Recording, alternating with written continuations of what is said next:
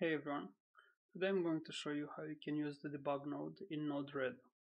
This is probably one, one of the most used nodes because you always want to debug your flow, see how it works, if it uh, displays the right thing, if it does the right action.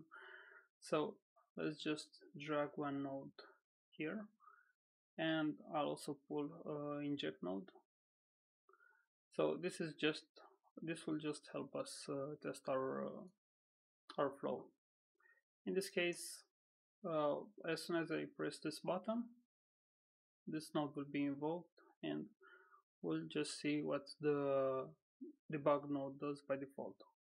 As you can see, when I press this button, this uh, information appeared here. So let's take a look and see what it displayed.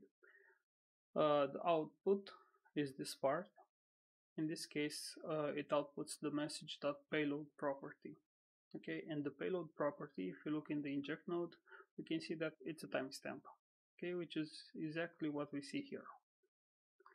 Uh, and it also tells us yeah we can format this. It also tells us that uh, it is displaying message.payload and it's a number okay? If we want we can set a name to the node. So let's call it um, Bogdan's debug node. Okay, and now we'll deploy. Press this again, and we can see that the name has what we typed uh, earlier. You may want to create uh, a name for your debug nodes because if you have multiple debug nodes in multiple flows, um, then you may want to know which node actually uh, displayed this information. Uh, there's another way you can check that. So let's say that I'm going to this flow. If I want to see which node display this, I'll just have to click here and it will take me exactly to that node. Okay, now let's look at uh, other things that we can do with debug node.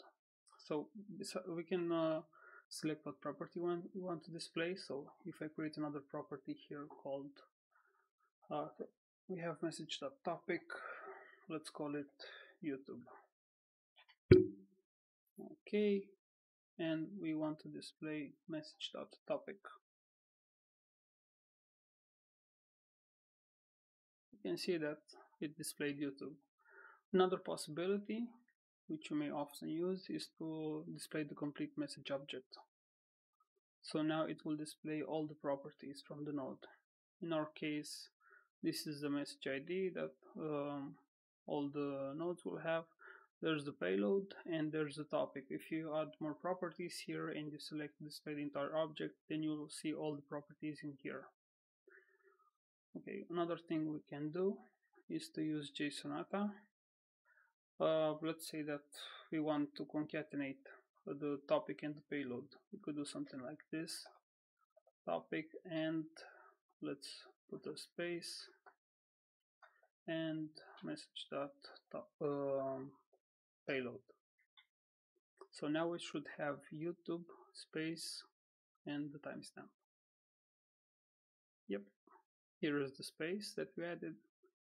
So yeah, in some cases you may want to concatenate uh, properties, but there are other things you can do with JSONATA. I'll cover uh, JSONATA in other video. We can also display to the system console, so if you're running Node-RED uh, from the terminal then you can uh, see what displays in there. Okay uh, the debug window it's what you see here. So if I uncheck this and click on deploy then nothing will appear in here.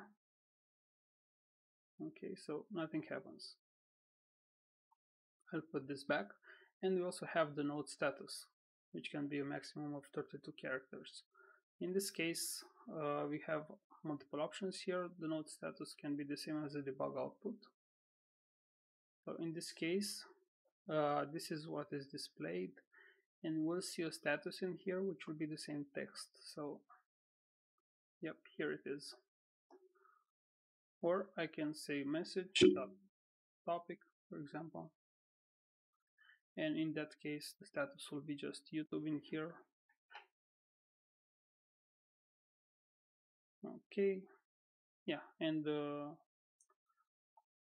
debug message stays the same.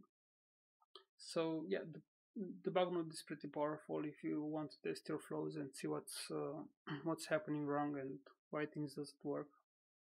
And uh, I hope that this video will help you.